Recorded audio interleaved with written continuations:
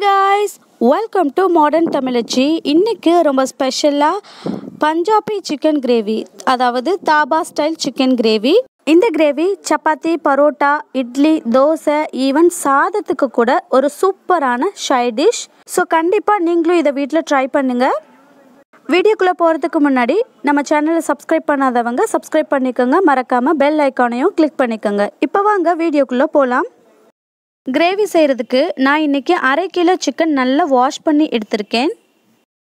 கூடவே அரை கப் அளவு நல்ல கெட்டியான புளிக்காத தயிராக சேர்த்துக்கலாம். காஷ்மீரி சில்லி பவுடர் ஒரு டேபிள் ஸ்பூன் அளவு கலருக்காக சேர்த்துக்கலாம். அரை டேபிள் ஸ்பூன் அளவு ரெட் சில்லி பவுடர் உங்கள் காரத்துக்கு ஏற்ற மாதிரி நீங்கள் சேர்த்துக்கோங்க. கால் டீஸ்பூன் மஞ்சள் தூள் தேவையான அளவு உப்பு சேர்த்துக்கலாம். சேர்த்து ஒரு ஸ்பூன் வச்சு நல்லா கலந்து விட்டுக்கலாம். மசாலா உப்பு ரெண்டுமே ஈவனாக சிக்கனில் மிக்ஸ் ஆகணும். அதுக்காக நல்லா கலந்து விட்டுக்கலாம். நல்லா கலந்த பின்னாடி ஒரு மூடி வச்சு க்ளோஸ் பண்ணி அரை மணி நேரம் ஃப்ரிட்ஜில் நல்லா ஊற வச்சிடலாம் இப்போ இந்த சிக்கன் அரை மணி நேரம் ஊறட்டும். அதுக்குள்ளே அடுப்பில் பேன் வச்சு பேன் சூடானதும் ஒரு மூணு டேபிள் ஸ்பூன் அளவு ஆயில் சேர்த்துக்கலாம். ஆயில் சூடானதும் ஒரு துண்டு பட்டை மூணு கிராம்பு ஒரு ஏலக்காய் சேர்த்துக்கலாம். முக்கால் டேபிள் ஸ்பூன் அளவு சீரகம் சேர்த்துக்கலாம்.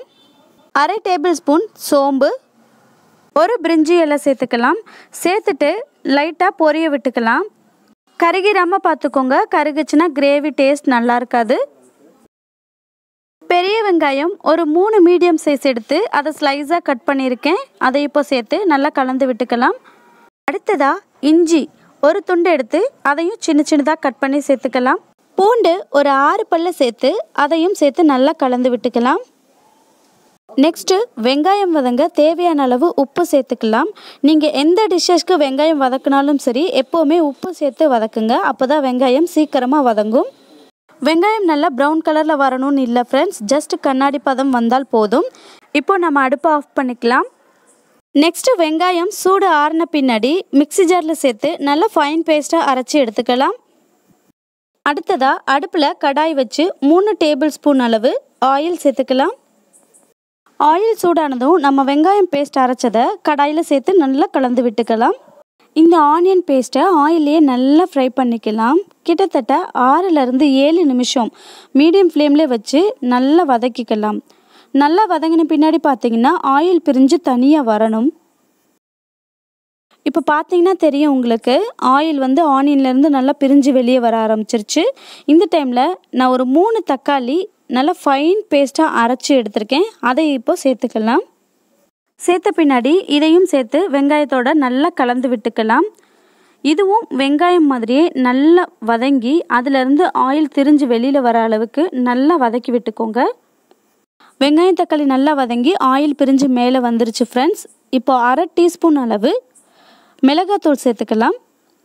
ஃப்ரெண்ட்ஸ் நம்ம ஏற்கனவே சிக்கன் ஊற வைக்கும் போது அரை டீஸ்பூன் அளவு தனி மிளகாத்தூள் சேர்த்துருக்கோம். ஸோ இந்த மிளகாத்தூள் நீங்கள் காரத்துக்கு ஏற்ற மாதிரி சேர்த்துக்கோங்க. இப்போ ரெண்டு டேபிள் ஸ்பூன் அளவு தனியா பவுடர் சேர்த்துக்கலாம். ஒரு டேபிள் ஸ்பூன் அளவு சீரகத்தூள் சேர்த்து இதையும் எல்லாம் நல்லா வதக்கி எடுத்துக்கலாம். வெங்காயம் தக்காளி மசாலா எல்லாமே நல்லா வதங்கி சுருண்டு வர அளவுக்கு நல்லா வதக்கிக்கலாம். பார்த்தீங்கன்னா இதில் இருக்க பச்சை வாசனை எல்லாம் போய் ஆயில் எல்லாம் வெளியே திரிஞ்சு வரணும். பாருங்கள் இந்த மாதிரி. ஆயில் இப்போ நல்லா திரிஞ்சு வெளியே வந்துருச்சு. இந்த டைம் நம்ம அரை மணி நேரம் ஊற வச்ச சிக்கனை இதில் சேர்த்துக்கலாம். சிக்கன் பார்த்திங்கன்னா அரை மணி நேரம் நல்லா ஊறியிருக்கதால வெந்ததும் நல்லா சாஃப்டாக இருக்கும்.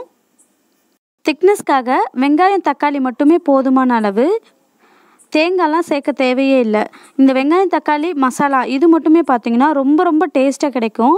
நீங்கள் ரெஸ்டாரண்ட்டில் பஞ்சாபி சிக்கன் சாப்பிட்ருந்தீங்கன்னா உங்களுக்கு தெரியும். ரொம்பவே டேஸ்ட்டாக அருமையாக இருக்கும். இப்போது கிரேவிக்கு தேவையான அளவு உப்பு சேர்த்துக்கலாம்.